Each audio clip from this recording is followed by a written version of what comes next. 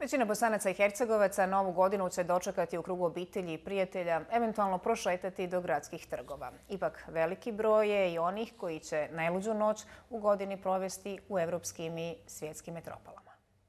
Bez obzira na nezavidnu ekonomsku situaciju u zemlji, a sudeći prema rezervacijama u turističkim agencijama, veliki broj građana naše zemlje novogodišnje praznike provešće u nekim od evropskih metropola.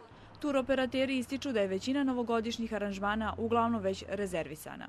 Ono što bih ja sada izdvojila jeste, jesu putovanja za Barcelonu, Veniciju, Istanbul, recimo Milano i Prag su već rasprodati. Što se tiče nekih aranžmana, recimo najjeftinijih, tu su Bratislava, Beč, Venecija, čija cijena kreće od nekih 200 maraka. Daleke destinacije postaju sve interesantnije za građane Bosne i Hercegovine, pa turističke agencije nude individualne polaske za Tunis, Egipat i Dubaji.